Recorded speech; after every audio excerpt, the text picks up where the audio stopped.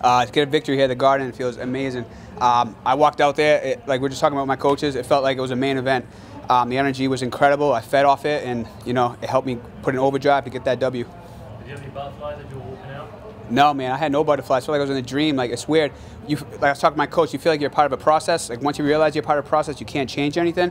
It, it feels like a dream. You just go with the flow, and you can barely remember afterwards. But you know, I got the W. Feels amazing right now, and I just want to celebrate.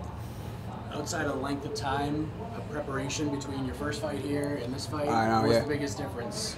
Uh, Uh, at the you know, I got a good amount of experience now in the, um, in the octagon. I have, uh, I had 45 minutes of octagon experience coming in here. Now I have an hour. You know, um, I came in here one and two in the UFC. I've been in some crappy spots.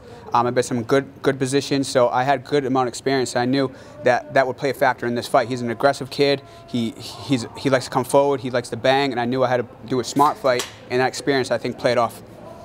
How important was it to kind of be in the same card with, with a couple of your teammates? Oh, yeah. They're all preparing here. I- um, Calvin's about to fight. Rob's about to fight. Yeah, Rob's about to fight right Uh, now. Rob talked about how important it was to work with you. Yep. How important was was it to work with those guys with the same goal and the same card? It was awesome, man. We uh, we meshed very well. We had a camp together, cross training together, same strength conditioning, cross training at Lauzon's, coming to Broadway Jiu Jitsu, um, you know, cross training everywhere, and we all peaked together. We all helped each other get through those tough days, and you know, I just put us first on the board for Boston. Rob's about to fight right now, and Calvin's about to get it next. Ready for the Pats game now? Oh, I'm ready. I can't wait. oh, it's gonna be tremendous, man. AFC Championship se- seven years in a row.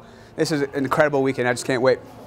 How big were the takedowns for you? It seemed like in the past he's been susceptible to that. Is that something you were looking at going into tonight? Not really. I knew I had that in my back pocket um, to rely on. Like, you know, he he definitely uh, threw me off guard of how how long he can cover range with his. Uh, you know, he's got good arm length, good leg reach. You know, he was throwing knees, and knees were coming like three, four feet. It, it was like it was tough. So I know how to stay on my bike, keep my uh, um, get, get, stay light in my feet, make my angles, and press him against the fence, and to try to tire his arms out. And hopefully, you know, my striking would open up.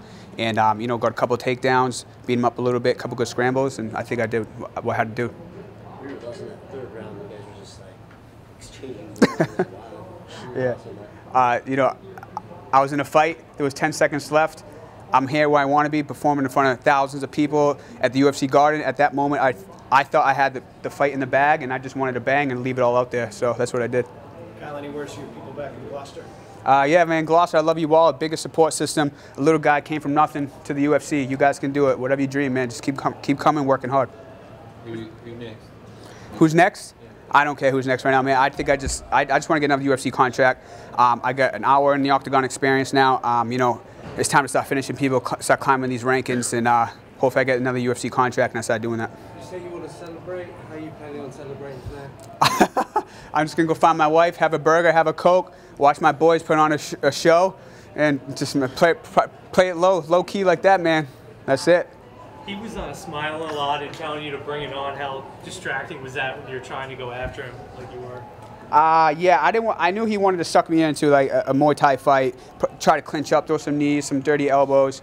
Um, I didn't want to play that game. I wanted to stay on my bike, keep my range, try to mix my levels and feints, take him down. You know, just be all, all around mixed martial artist and put that out there tonight. And I think I did that. Kyle, in your line of work, you know, we work with uh, sometimes a sore hand. Any advice for Tom Brady tomorrow working with a sore hand? no, I think Tom's give me some advice working with a sore hand. Like, he, he's got it all, man. He's the goat. That's it. All right, thank you guys. Kyle.